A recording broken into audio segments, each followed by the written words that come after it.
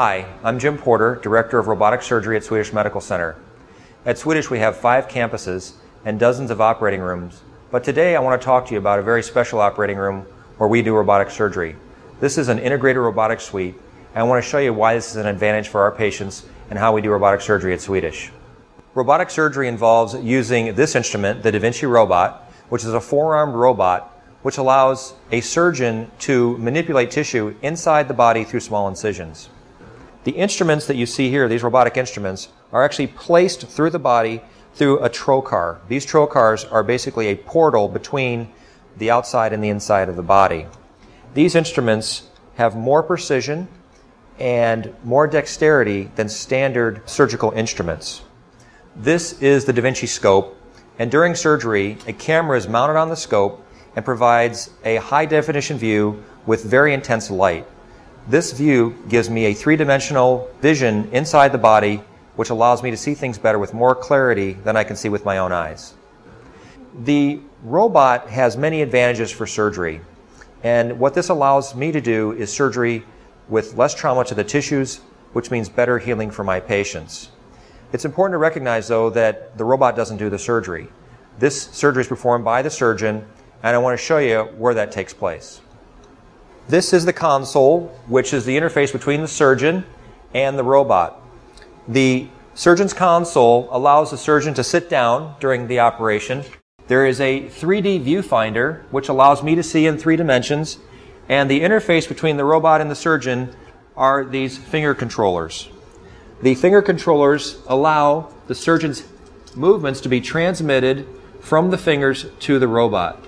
During surgery, I look into the three-dimensional viewfinder and then I manipulate the robotic instruments with these movements. I also have foot controls which allow me to perform things like cautery or to actually move the robotic camera in and out. Another important component of the integrated robotic suite is the Da Vinci Dual Console. Most robotic suites will have a single console which allows a surgeon to transmit his movements to the robot. With a dual console, this allows two surgeons to actually see what's happening inside the patient at the same time. The dual console also allows surgeons to trade off. One surgeon can be operating while one is instructing, and then with a touch of a button, the other surgeon can start doing surgery, and the other surgeon is now the observer. This is a great advantage with regard to teaching robotic surgery and training surgeons to do this properly. One of the major features of our integrated robotic suite is the Vision Boom. The Vision Boom was developed with the idea of eliminating having all the cords on the floor that connect the robot to the various components in the room. This creates a safer work environment and gives better flow to the room. Another novel piece of the integrated robotic suite is the overhead viewing camera.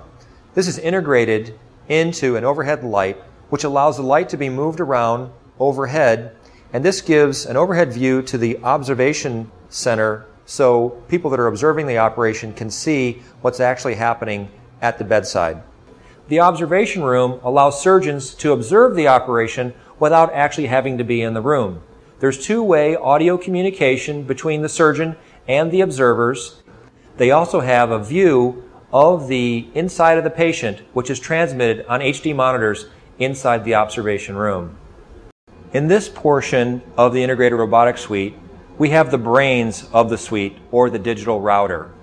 And it allows the capability of recording cases and transmitting them to any monitor inside the room. We also have the capability of taking internet images from any radiology suite, transmitting them to the router and then to the surgeon's console, which allows the surgeon to see radiology images in real time during the procedure. Another important component of the digital router is something called Polycom HD. This is an internet transmission device which allows live surgery to be transmitted from our operating suite to anywhere in the world. And we've performed many live surgeries here at Swedish using this technology.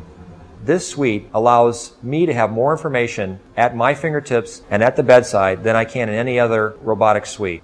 And that's better for me as a surgeon, and it's better for our patients.